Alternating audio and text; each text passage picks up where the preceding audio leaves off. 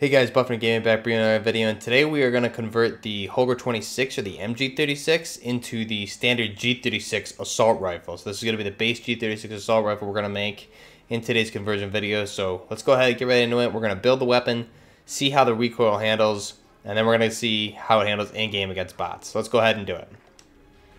Here we go, we see the final product, so let's strip it down. Now we have our base MG36 or the Holger 26. So the first attachment I'm going to do here is going to be a compensator. So the compensator, the pro here is recoil control. Obviously cons are ADS speed and aim and stability, but we're going to make up for that in other areas, so it should be okay. The compensator is going to expel gas upward to aggressively fight muzzle climb. So this is something, uh, the recoil on this can be kind of iffy. It's a little hard to control here and there, so I'm trying to, I tried to find the best attachments to, to fight that. So we'll go with the compensator. For the barrel, we're going to want the standard barrel here that you get with the Holger 26. So you don't need to change the barrel whatsoever. Laser, we're going to skip out. Optic, um, we're going to go with the holographic opt optic here. But another good option that I do like is the FFS integral. So this is that, essentially we talked about in the carbine video or the compact video for the G36C. The different integral optics here. You see the FFS integral and then there's a four times integral here as well. But for this video, we're going to go with a standard holographic sight. Stock, we're going to skip out as well as perk. For the rear grip, we're going to do a, a, a uh, stipple pistol grip. So again, this one's going to uh, make up for the compensator there. It's going to give us a pro for ADS speed as well as sprint to fire speed. And the con's going to be the aim and stability, which again, we're making up elsewhere too. So do that stipple pistol grip. Now the other, the really only key attachment with this weapon is we're going to change to the 30 round mag. Okay. So Obviously, we're just changing out that 100 round C-Mag for the 30 round magazine. This is going to help us with our ADS speed and our movement speed. Obviously, we're not carrying around that 100 round C-Mag, so we'll do that. And then for the underbarrel, this one, we're going to go with the Ranger foregrip. This is going to help our recoil control and aiming stability. Again, the con is the ADS speed and the aim, the aiming walking movement speed, which we kind of mitigated elsewhere, so I think we should be okay with that. Another good option is going to be the Commando foregrip if you don't want to sacrifice that ADS speed. This one also helps with the recoil stabilization and the aiming stability. So this one would heavyweight angled grip to keep the weapon steady while aiming and helps maintain control during heavy fire. But I like I personally think the Ranger foregrip may be a better option for this particular build. And oh, we didn't even select it. There we go. Ranger foregrip. So that is our final build, the G36 assault rifle variant. The in real life, so this is this is a the same barrel that the MG36 uses, that the base Holger uses. So this is going to be that 18.9 inch barrel or the 480 millimeter barrel. So this is, they use the same length barrels and in, in the real life version, I believe it's the exact same um, handguard and everything as well. So here you see we have like a, a tri Picatinny rail. We got top, bottom, and then on the right side as well. So I'm not sure why we don't have one on the on the left side of the weapon, but you can see the bipod is still there, folded up, which is fine. I think that's probably one thing that um, in the AR versions in real life is removed for the assault rifle versions. There's no bipod, it's only on the MG36s, but again, it's popped up, so it's okay. So this is the final version of the G36 assault rifle. It looks really nice. Again, you got the top rails there as well on the handguard also. And be sure to check out the G36K as well as the G36C videos we did the other day as well, going more in depth into the design and how accurate it is in real life. You see the charging handle up top, um, the magazine eject, ejection triggers there, all fully ambidextrous as well as the select fire options. The only problem again is the magazine itself is not transparent like in real life. The bipod is still on this build when we switch to the 30 round mag, which is obviously you know fine for in game because we didn't change the barrel. If we change the barrel to the other variants, it'll go away. The magazine release, unfortunately, in real life, it's actually underneath the where the trigger. Oh, let me switch to it. Underneath the trigger, the same as an AK build, it'd be right there underneath the trigger guard on the bottom there, right behind the magazine. You could you could pop it out just like you would an AK. But that's the only difference with this particular build. Other than that, uh, pretty spot on build. So hopefully this one, in my experience, should help us mitigate recoil and help us control the weapon. So let's go ahead now, get in game with our G36 assault rifle and see how it handles. Okay, now that we're in game with our G36 assault rifle, let's go ahead and check out the recoil pattern. So first we'll just ADS and we're going to let this rip and not control the recoil. So again, you can see it goes similar to the other variants we did. It goes up and then to the right slightly. So I think we can control that pretty well. Let's go ahead and try.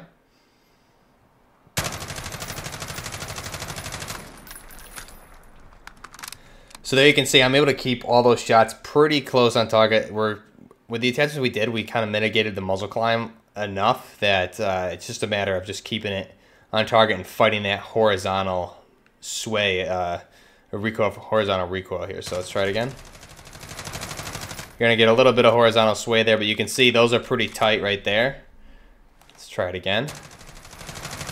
And these are all center mass shots. The recoil's not anything that you're going to get off target with. You can see those are all pretty tight, right? So try it once more, maybe a little bit further back. Aim right there and see how we do.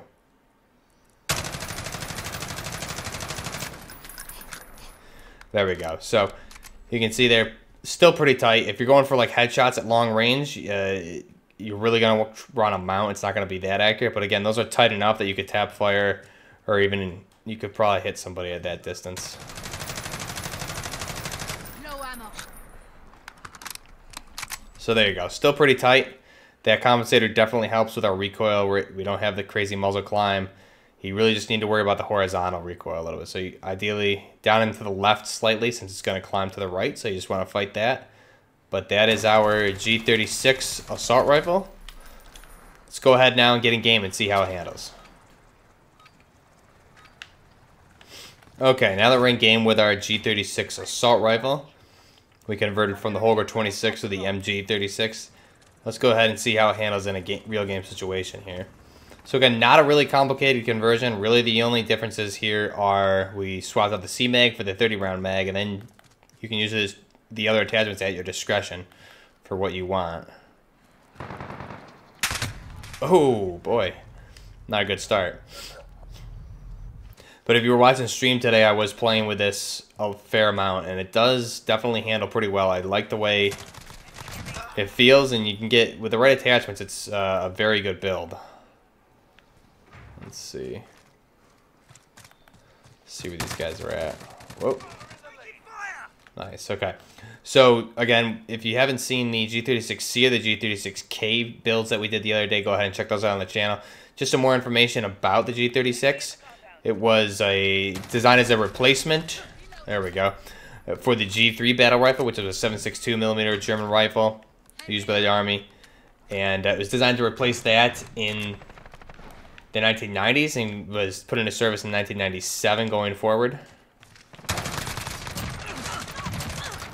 Boy, you can see it does handle pretty well. The builds we hit, the attachments we have on really help the the um, the recoil control with this as well as the ADS speed's pretty decent, so it's not too bad. You can even fight this more if you want to throw a Tac laser on, which I, I was playing out with a, decent amount, and it does help a lot. That with the stipple pistol grip, so you can just stack those attachments if you don't mind the um, the visible laser. Just be careful with your ADS when you're ADSing. Other than that, um, that would help it out even more. But I think it's pretty good. It handles well, and I was using it on stream most of the day today.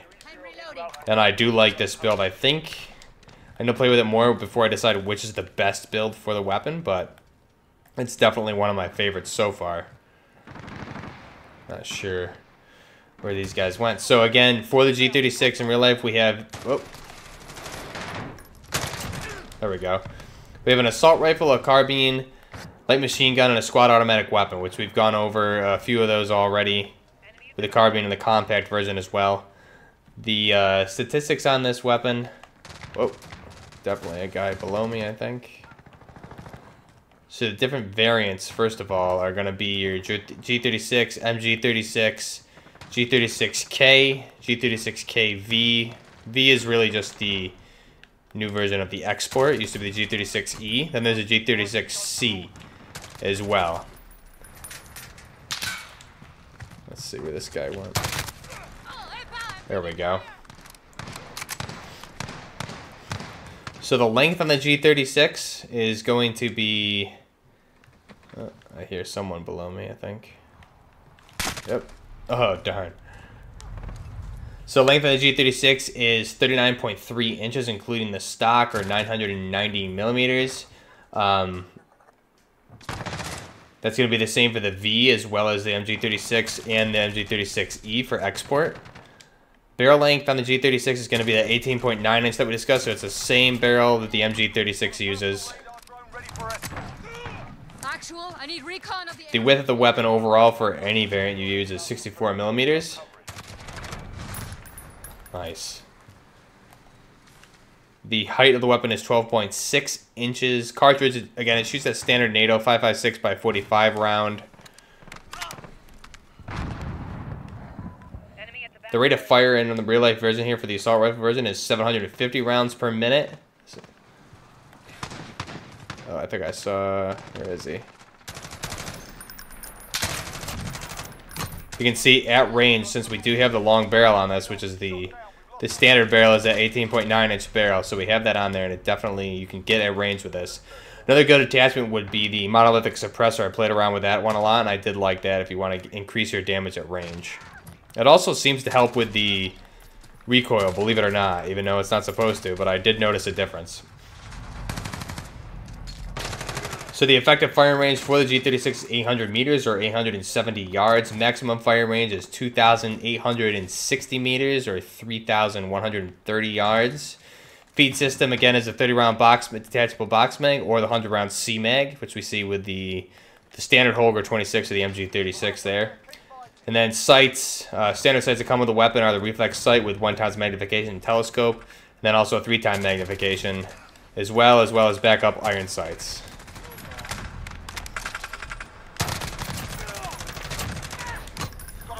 So with the attachments we have on it, definitely mitigates the muzzle climb enough to where you really, like I said, you really only need to worry about that horizontal recoil and uh, it makes the vertical recoil a lot easier to compensate for.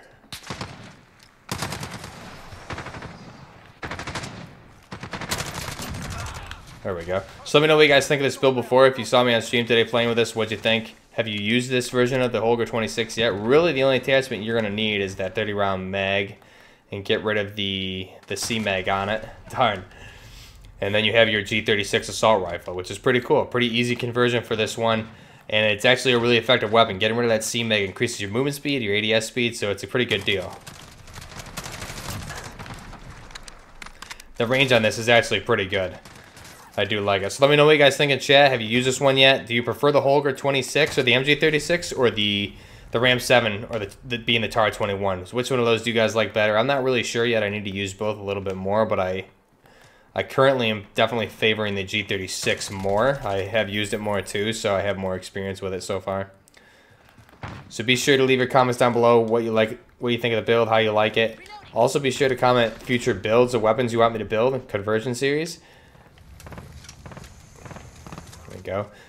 Also be sure my Twitch link is down below in the description. You can follow me over there. We'll be doing live streams there. We were doing live streams on YouTube today. So we'll be doing back and forth between each, but that way you can stay notified to which one I'm on if I don't give you a heads up in advance.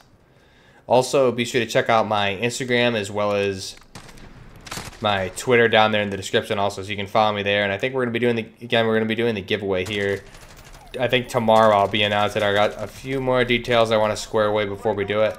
And I think what it's going to be, we're going to be doing two uh, gift cards, you know, whether it's for Steam, Xbox or PlayStation, depending on whoever wins, what console console of choice for you would be about thirty-five dollars um, of the console gift card there. So we'll do that, and that way, if you guys want to purchase some COD points for season one and get some unlocks for the battle pass, you can do that. If you don't have the game yet, we give you some little extra money towards that. So let me know what you guys think down below of this build. I think so far this one is really good. I need more time with it. I, I did like the G36K we did yesterday for sure. Thought that was a really good build. It, and that increased your, with that shorter barrel, it increased your movement speed as well as your ADS a little bit also, which was good. Copy. Jaguar 3-0 en route for personal. Let's